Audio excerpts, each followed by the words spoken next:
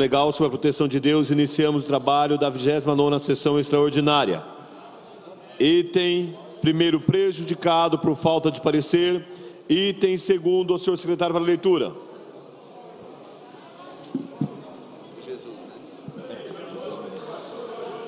Segunda discussão e votação no projeto de lei número 3.127 de 2016, dispôs sobre concessão de auxílio financeiro à Associação Beneficente Jesus José e Maria, no valor de 5 milhões e 800. Autor, Prefeitura.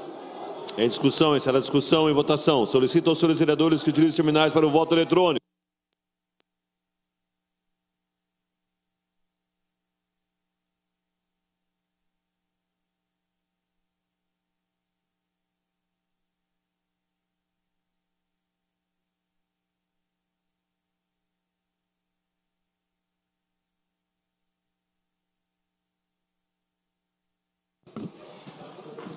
Pela ordem, senhor presidente.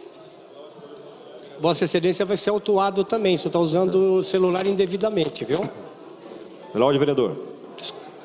Votar Eu sim, estou te ouvindo, presidente. vereador. Votar sim, senhor presidente. Ok, vereador Paulo Sérgio vota sim. Pela ordem, presidente. Pela ordem, vereador Ramos da Padaria. Meu voto sim.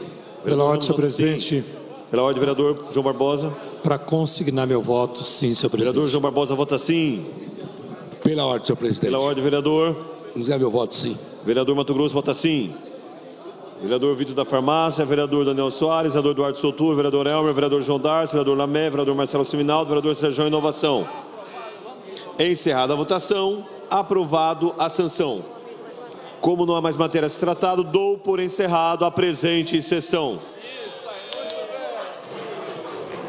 Bom, terminados os trabalhos então aqui para a sessão ordinária de número 68 e as extraordinárias de números 28 e 29. Ao meu lado está aqui o vereador Geraldo Celestino, presidente da LOA este ano da Lei Orçamentária Anual, assim como foi também da LDO. Primeiramente a gente vai falar um pouco sobre esse assunto aqui ao vivo com a gente, vereador. Falar um pouco então da LOA, as audiências públicas já estão marcadas, o senhor pretende fazer naquele ritmo que o senhor fez a LDO também. Boa tarde, obrigado por falar com a gente. Então, ó, só para o telespectador saber, a LOA é a Lei de Orçamento Anual do município de Guarulhos. Nós vamos discutir o orçamento do ano de 2017, votamos a Lei de Diretrizes Orçamentárias no primeiro semestre, onde nós direcionamos aí as prioridades do governo. Agora vamos votar o orçamento. E nós vamos começar a ouvir os secretários a partir da, da- do dia 21, segunda-feira. Vamos ouvir todas as secretarias, ouvir a necessidade de cada secretaria, as explicações daquele orçamento e, e também as coordenadorias. E esse ano nós temos um fato inusitado, que nós temos um governo de transição. Próximo dia 1 de janeiro assume um novo governo que vai assumir o orçamento do prefeito atual, que não será mais prefeito. Então nós vamos ouvir também a comissão de transição. Após ouvir todos os secretários, nós vamos ouvir o prefeito eleito e junto com a sua comissão de transição para o próximo prefeito saber o que vai acontecer com o seu orçamento no ano de 2017. O que, que muda nesse caso então com a transição, vereador? Então, a transição, eles estão tomando conhecimento como está a situação do município, que todo mundo sabe que o município está praticamente quebrado, falido o município de Guarulhos. Se nós temos um orçamento, uma arrecadação de 4 bilhões e, e alguns, alguns milhões para o próximo ano. Então, essa comissão de transição vai analisar pasta por pasta. Já existe a vontade do, do futuro prefeito de estar enxugando a máquina pública, porque se não fizer enxugamento, ele não consegue governar. Vai diminuir o número de secretarias, vai eh, algumas coordenadorias, segundo informações da equipe do futuro prefeito.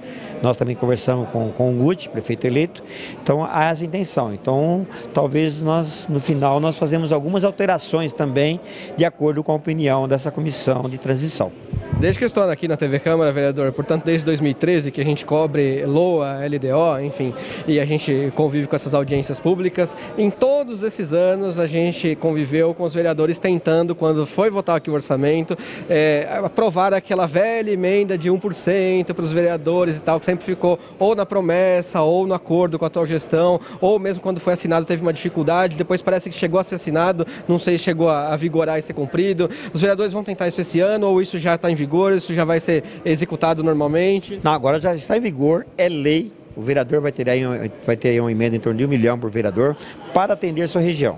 Vamos supor, eu estou lá no Parque Secap, eu quero uma melhoria pontual no Parque Secap. Então, Só para reforçar, vereador, é lei então agora? É lei e está na lei orgânica. Agora o prefeito terá que cumprir. E o prefeito eleito, o vereador Guti, já esteve aqui na Câmara semana passada, assumiu um compromisso com, com o Legislativo que estará cumprindo a emenda dos vereadores. Isso é importante para o trabalho do vereador, porque ele, ele é eleito na sua região e tem cobrança aí por melhorias no seu bairro. Até para ajudar, claro. Para a gente encerrar aqui, vereador, o porquê de tanta polêmica na sessão de hoje? A polêmica foi o prefeito mandou aí no afogadilho um projeto de anistia de juros e multas de, de tributos do município. É um governo que não planejou o município, passando o segundo turno, alegando necessidade de caixa para pagamento no mês de dezembro. Nós não sabemos aí quem são esses devedores, queremos saber quem são os maiores devedores da cidade, então a Câmara não sabe de nada. Chegou o projeto simplesmente dando essa anistia. E o pobre, nós sabemos, a maioria do pobre, ele vai lá e paga seu IPT IPTU. Então, grande, a anistia favorece os grandes sonegadores, os grandes empresários que sonegam imposto na, na cidade, que não pagam seu IPTU, guarda o dinheiro e quando vem a anistia vai lá e faz o acordo com a prefeitura. Então, essa foi a grande discussão.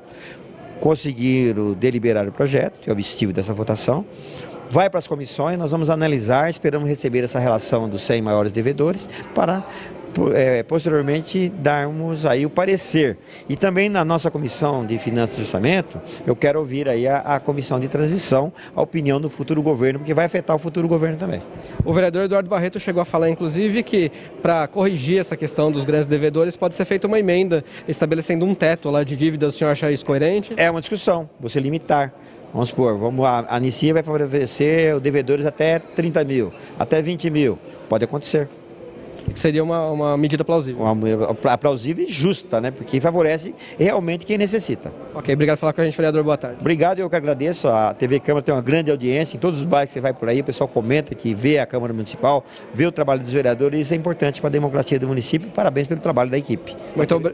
A equipe da TV Câmara. Né? Muito obrigado que a gente continue juntos. Obrigado, meus vereadores, por falar com a gente. Só então aqui para colocar todos os pingos nos is e resumir para você o que foi essa sessão. Nós tivemos aqui a sessão ordinária, é, nem o item acabou sendo votado, a sessão já acabou terminando mesmo ali por uma verificação de quórum. Foi até proposital para que se pudesse abrir a sessão extraordinária, onde havia aqui dois projetos e que eram objetos de grande discussão, foram objetos de grande discussão, a subvenção à instituição Jesus José e Maria, no valor de 5 milhões e 800 mil reais, e o parcelamento que a prefeitura propôs. É, mais de duas horas os vereadores acabaram levando, é, discutindo a inversão ou não da pauta, e no fim das contas os dois projetos acabaram passando.